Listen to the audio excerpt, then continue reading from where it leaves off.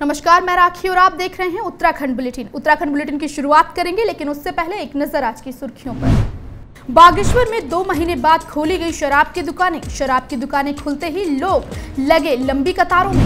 पिथौरागढ़ में सरयू नदी में डूबने से पाँच बच्चों की हुई मौत। शादी के बाद बहन को छोड़ने सेरा घाट आए थे पाँचों बच्चे।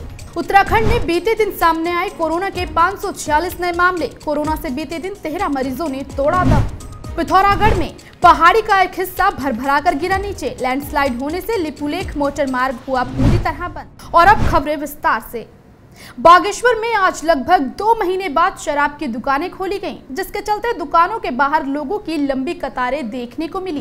दरअसल सरकार ने 9, 11 और 14 जून को प्रदेश में शराब की दुकानें खोलने का फैसला लिया है। इस दौरान पुलिस की ओर से सोशल डिस्टेंसिंग का पालन नहीं करने वालों पर चालानी कार्रवाई की गई। वहीं शराब खरीदने आए लोगों ने बताया कि शराब की बोतलों पर एमआरपी से ज़्यादा पैसा दुकानदारों की ओर से वसूला जा रहा है। इस दौरान आबकारी अधिकारी ने बताया कि पुराने स्टॉक होने के कारण शराब को नए रेटों से बेचा जा रहा है। वहीं ओवर रेटिंग का मामला आने पर पुलिस की ओर से कार्रवाई अमल में लाई जाएगी। कितना रुपया एक्स्ट्रा दिया जा रहा है आपको सौ रुपया। गारंटी कितना है? पाँच सौ पचास। और कितना बोल क्या बोला आपके ओवर रेटिंग और आपके द्वारा पूछा गया कि इतना ओवर रेट क्यों ले रहे हैं? नहीं साढ़े छः की बताई मेरे को। और बा, बाद में देखना अगले साढ़े पाँच सौ किया कुछ द्वारा मुझे तो बताया गया कि हो गई है तो इसमें उन्होंने कॉन्टैक्ट किया दुकान का तो मतलब उनका कहना था कि कुछ, जो पहला, पुराना था ऊधम सिंह नगर के एसएसपी दिलीप सिंह कुंवर की पत्नी और उनकी टीम पुलिस कर्मियों के लिए मास्क और फेस शील्ड तैयार करने में जुटी हुई है। आपको बता दें कि उन्होंने अब तक 1000 फेस मास्क और 1000 फेस शील्ड तैयार कर जरूरतमंद लोगों को बांटी हैं। इस दौरान एसएसपी दिलीप सिंह कुंवर की पत्नी विनीता कुंवर ने बताया कि फ्रंट लाइन के कर्मचारियों को ड्यूटी के दौरान बनाए गए फेस मास्क और फेस शील्ड से कोरोना संक्रमण से बचने में मदद मिलेगी। इन लड़कियों हमारे जो है पुलिस महिलाएँ जो कुछ वर्कर हैं और कुछ जो है घरैया लाइन के हैं, उन लोगों ने ये मास्क बनाए हैं। आज हमने हज़ार के करीब वितरण कर दिए हैं और बाकी जो है अभी हम आरआई साहब को देंगे। आरआई साहब जो है अपने बांट बाजपुर में बाल विकास परियोजना के तहत तीन से छह साल तक के बच्चों को दिए जाने वाले मल्टीग्रेन बिस्किट की हालत खस्ताहाल हुई है। आपको बता दें कि आंगनबाड़ी कार्यकर्ताओं की ओर से बच्चों को बांटे जाने वाले बिस्कुट के पैकेट चूरन में तब्दील हो चुके हैं।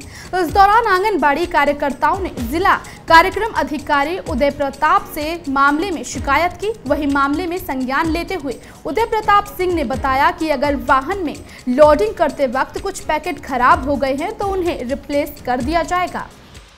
ये ये मल्टीग्रेन बिस्किट है जिसमें हम लोगों ने इसमें कई तरह के, के अनाजों को मिला करके और इसमें देसी घी में जो है ये बिस्किट जो है हमारी सरस केंद्र की जो है एस ग्रुप की जो है महिलाएँ इसको तैयार कर रही हैं।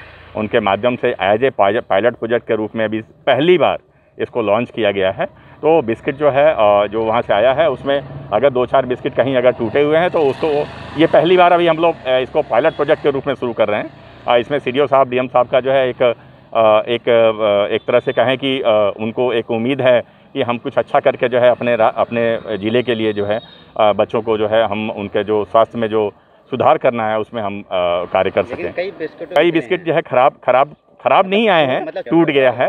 वो गाड़ी की लोडिंग अनलोडिंग में कहीं गलती हुई है। उनको हमने कह दिया कि अगर दो चार बिस्किट के पैकेट अगर खराब है तो उनको निकाल दिया जाए। उतने पैकेट उनको रिप्लेस उत्तराखंड को केंद्र सरकार ने जल जीवन मिशन योजना के तहत खासी राहत प्रदान की है। इस दौरान पेयजल मंत्री बिशन सिंह चौफाल ने बताया कि पहले पच्चीस हज़ार रूपए प्रति परिवार केंद्र से राज्य को मदद मिल रही थी। वहीं अब केंद्र ने इस धनराशि को बढ़ा दिया है।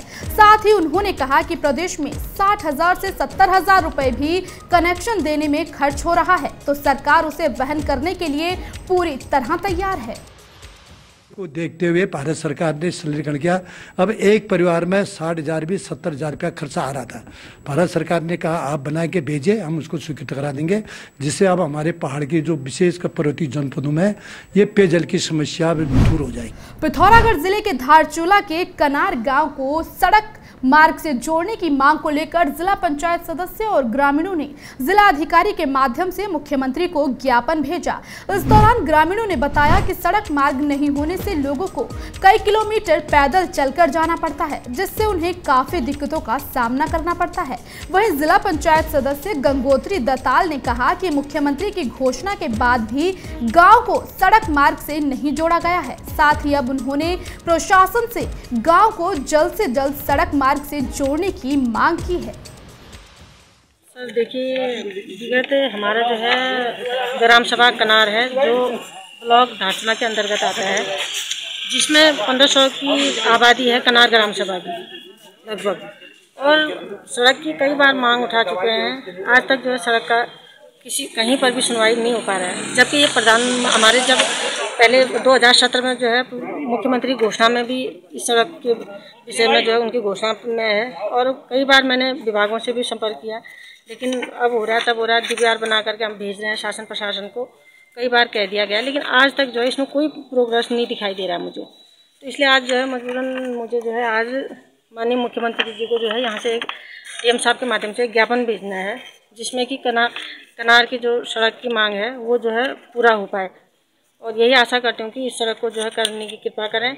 और जो हमारी मातृ शक्ति है, जैसे गर्भवती महिलाएँ हैं, बूढ़े बुज़ुर्ग हैं, और इनको जो 20 किलोमीटर पैदल रास्ता अपनाना पड़ता है।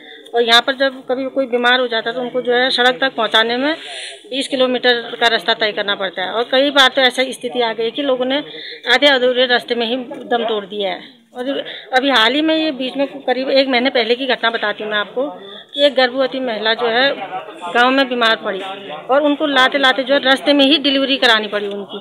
और ऐसी स्वास्थ्य सुविधाएँ भी हमारे वहाँ पर बिल्कुल बदहाल स्थिति है। फ़िलहाल बुलेटिन में आज के लिए बस इतना ही। बाकी खबरों को देखने के लिए आप बने रहिए न्यूज़ 31 उत्तराखंड पर। नमस्कार।